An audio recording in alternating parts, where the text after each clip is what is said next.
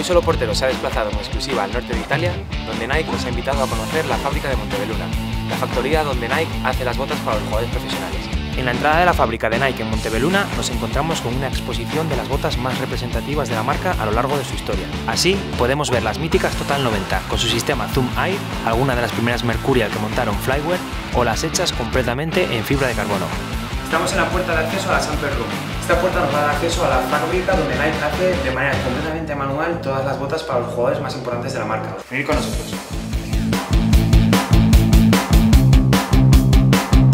Actualmente Nike está en pleno proceso de producción de la colección de Holiday, la colección que van a usar los jugadores durante este invierno de 2013-2014. Como podéis ver, la colección destaca por su alta visibilidad. Jugamos en condiciones meteorológicas adversas, lo que queremos es que los jugadores sean visibles.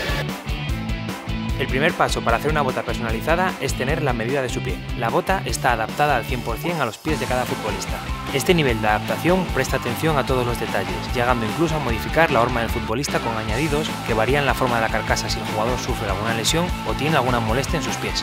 Además de la carcasa, que es la parte principal de la bota, cada jugador elige entre suela normal y mixta, y multitud de accesorios que Nike pone a disposición del jugador para elaborar su bota. Como podéis ver, el proceso de producción de las botas en Montebelluna es mucho más manual de lo que estamos acostumbrados. Los artesanos de Nike nos han hecho hincapié en que su fábrica es como la de Ferrari. Se hacen muy pocas botas, pero completamente adaptadas a las necesidades del futbolista. Por eso, en un día de trabajo no se hacen más de 8 pares de botas. Durante el proceso de producción de la bota, todos los artesanos de Nike tienen una hoja como esta. Esta es una hoja de seguimiento de cada uno de los jugadores a los que se le hace la bota en Montebelluna Dentro pone todas las características especiales que quiere el jugador para esta bota.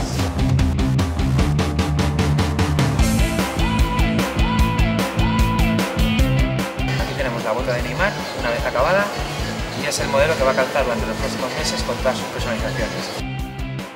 Esta es la, la bota de Ronaldinho que usó por un partido yo no me recuerdo si estaba contra el Zaragoza. La, parte que tuve de oro es realmente oro. Estaba solamente dos pares de votos, una para él y una para, para nosotros que, que firmó aquí. Bueno chicos, hoy ha finalizado uno de los días más importantes de que estoy en Solo Porteros. Es la visita de, a la fábrica de Montebelluna en Nike. Además nos llevamos para España un regalo muy especial y es un juego de botas Mercury al vapor personalizadas en exclusiva para solo porteros y firmadas por todas las personas que participan en el proceso de producción de las botas para los jugadores profesionales.